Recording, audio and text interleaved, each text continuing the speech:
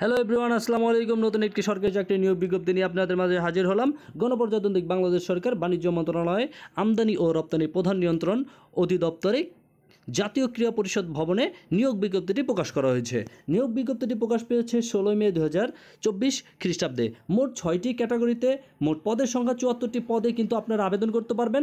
আবেদনের শুরু তারিখ বিশেই মে দুই হাজার চব্বিশ এবং আবেদনের শেষ তারিখ দশই জুন দুই হাজার চব্বিশ তারিখে।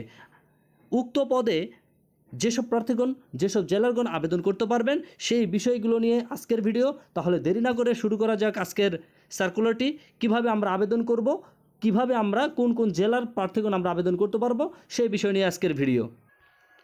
আবেদনের প্রথম পদ শার্টলিপিকার কাম কম্পিউটার অপারেটর, গ্রেড এগারো, বেতন স্কেল বারো হাজার পাঁচশো থেকে তিরিশ হাজার দুশো তিরিশ টাকা। পদের সংখ্যা একটি কোনো স্বীকৃত বোর্ড হতে উচ্চ মাধ্যমিক, সার্টিফিকেট বা এইচএসসি বা সমমান পরীক্ষা উত্তীর্ণ প্রার্থীগণ আবেদন করতে পারবেন। এখানে কম্পিউটার প্রশিক্ষণ বাধ্যতামূলক, এছাড়া ষাটলিপি সর্বনিম্ন গতি, ইংরেজিতে প্রতি মিনিটে আশি শব্দ এবং বাংলায় প্রতি মিনিটে পঞ্চাশ শব্দ। কম্পিউটার মুদ্রাক্ষরের সর্বনিম্ন প্রতি মিনিটে ইংরেজিতে তিরিশ শব্দ এবং বাংলায় পঁচিশ শব্দ। এছাড়া ষাট কম্পিউটার ষাট ষাটলিপিকার কাম কম্পিউটার অপারেটর, গ্রেড বারো, বেতন স্কেল এগারো হাজার তিনশো থেকে সাতাশ হাজার তিনশো টাকা। এখানেও পদের সংখ্যা একটি। কোনো স্বীকৃত বোর্ড হতে উচ্চ মাধ্যমিক সার্টিফিকেট বা এইচএসসি বা সমমান পরীক্ষায় উত্তীর্ণ প্রার্থীগণ এখানে আবেদন করতে পারবেন। ষাটলিপি সর্বনিম্ন গতি প্রতি মিনিটে ইংরেজিতে আশি শব্দ এবং বাংলায় পঞ্চাশ শব্দ।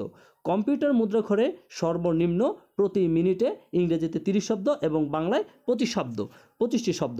এছাড়া যেসব জেলাগণ প্রার্থী আবেদন করতে পারবেন, ঢাকা, গাজীপুর, নারায়ণগঞ্জ, শরীয়তপুর, কিশোরগঞ্জ, টাঙ্গাইল, ময়মনসিংহ, জামালপুর, নেত্রকোনা, চট্টগ্রাম, বান্দরবান, কক্সবাজার, ব্রাহ্মণবাড়িয়া, চাঁদপুর, কুমিল্লা, ফেনী, নোয়াখালী, রাঙ্গামাটি, রাজশাহী, পাবনা, সিরাজগঞ্জ, নওগাঁ, নাটোর চাঁপাইনবাবগঞ্জ বগুড়া, রংপুর, দিনাজপুর, লালমনিরহাট, নীলফামারী, খুলনা, যশোর, মাগুরা, কুষ্টিয়া, মেহেরপুর, ঝালকাঠি, পিরোজপুর, বরগুনা, সিলেট, মৌলভীবাজার, সুনামগঞ্জ, হবিগঞ্জ এইসব জেলার প্রার্থীগণ কিন্তু আবেদন করতে পারবেন। তবে এতিম ও শারীরিক প্রতিবন্ধীগণের ক্ষেত্রে সকল জেলার প্রার্থী আবেদন করতে পারবেন।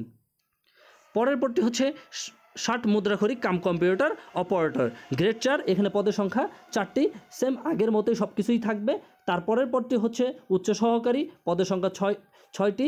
গ্রেড চোদ্দ, বেতন স্কেল দশ হাজার দুইশো থেকে চব্বিশ হাজার ছয়শো আশি টাকা।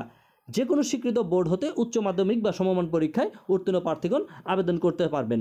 এছাড়া যে সকল জেলাগণ এখানে আবেদন করতে পারবেন, ঢাকা, গাজীপুর, নারায়ণগঞ্জ, শরীয়তপুর, কিশোর, টাঙ্গাইল, ময়মনসিংহ, জামালপুর, নেত্রকোনা, চট্টগ্রাম, বান্দরবান, কক্সবাজার ব্রাউনবেড়িয়া চাঁদপুর, কুমিল্লা, ফেনী, নোয়াখালী, রাঙ্গামাটি, রাজশাহী, পাবনা, সিরাজগঞ্জ, নওগাঁ, নাটোর, চাঁপাইনবাবগঞ্জ, বগুড়া, রংপুর, দিনাজপুর, লালমনিরহাট, নীলফামারী, খুলনা, যশোর, মাগুরা, কুষ্টিয়া, মেহেরপুর, ঝালকাঠি, পিরোজপুর, বরগুনা সিলেট, মৌলভীবাজার, সুনামগঞ্জ, হবিগঞ্জ এইসব জেলাগণ প্রার্থী আবেদন করতে পারবেন। তবে এতিম ও শারীরিক প্রতিবন্ধীর ক্ষেত্রে সকল জেলার প্রার্থীগণ আবেদন করতে পারবেন। এছাড়া সবচেয়ে বেশি যে পদের লোক পদে, শূন্য পদের লোক নেবেন, সে পদটি হচ্ছে অফিস সহায়ক গ্রেড বিশ। এখানে পদের সংখ্যা হচ্ছে একচল্লিশটি, বেতন স্কুল হচ্ছে আট হাজার দুশো পঞ্চাশ থেকে বিশ হাজার দশ টাকা। কোনো স্বীকৃত বোর্ড হতে দ্বিতীয় বিভাগ বা সমমান জিপিএ তে এসএসসি বা সমান পরীক্ষা উত্তীর্ণ প্রার্থীগণ আবেদন করতে পারবেন। এছাড়াও যে সকল জেলাগণ এই পদের জন্য আবেদন করতে পারবেন, ঢাকা, গাজীপুর, মুন্সিগঞ্জ, ফরিদপুর, মাদারীপুর, শরীয়তপুর, কিশোরগঞ্জ, টাঙ্গাইল, ময়মনসিংহ, শেরপুর, চট্টগ্রাম, বান্দরবন, কক্সবাজার, ব্রাহ্মণবাড়িয়া, কুমিল্লা, খাগড়াছড়ি, ফেনী, লক্ষ্মীপুর রাঙামাটি জয়পুরহাট, নাটোর, বগুড়া, দিনাজপুর, মাগুরা, নড়াইল, চুয়াডাঙ্গা, মেহেরপুর, বরিশাল, ভোলা জালকাঠি পিরোজপুর, পটুয়াখালী, সিলেট, মৌলভীবাজার, সুনা- সুনামগঞ্জ, হবিগঞ্জ। তবে এতিম ও শারীরিক প্রতিবন্ধীর ক্ষেত্রে সকল জেলার প্রার্থীগণ আবেদন করতে পারবেন। এছাড়া প্রার্থীর তিরিশ চার দুই তারিখের মধ্যে প্রার্থীর অবশ্যই আঠারো থেকে তিরিশ বছর পর্যন্ত হতে হবে। বীর মুক্তিযোদ্ধা বা শহীদ মুক্তিযোদ্ধা পুত্র, কন্যা, সন্তানের ক্ষেত্রে বা শারীরিক প্রতিবন্ধীর ক্ষেত্রে বত্রিশ বছর পর্যন্ত শিথিলযোগ্য। এছাড়াও আবেদনটি CCIE dot Teletalk dot com dot bd এই ওয়েবসাইটে যে আপনারা অনলাইনের মাধ্যমে আবেদন করতে পারেন। আবেদনের প্রথম এক ও দুই নং ক্যাটাগরির জন্য, এক ও দুই নং ক্যাটাগরির জন্য পরীক্ষার ফি তিনশো পঁয়ত্রিশ টাকা এবং তিন থেকে পাঁচ নং ক্যাটাগরির জন্য, তিন থেকে পাঁচ নং ক্যাটাগরির জন্য দুইশো তেইশ টাকা পরীক্ষার ফি এবং শুধুমাত্র ছয় নং ক্যাটাগরির জন্য বারোশো এক একশো বারো টাকা পরীক্ষার ফি বরাদ্দ করা হয়েছে। যারা অনলাইনে আবেদন করবেন, তারা আগামী বিশ মে দু হাজার চব্বিশ তারিখ হইতে দশই জুন দু হাজার চব্বিশ তারিখের মধ্যে অনলাইনের মাধ্যমে আবেদন করে ফি প্রদান করবেন।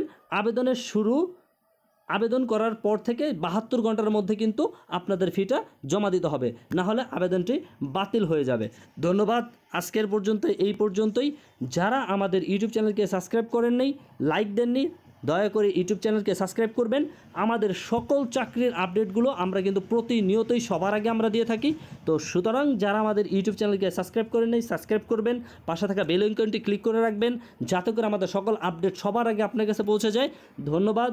আসসালামু আলাইকুম।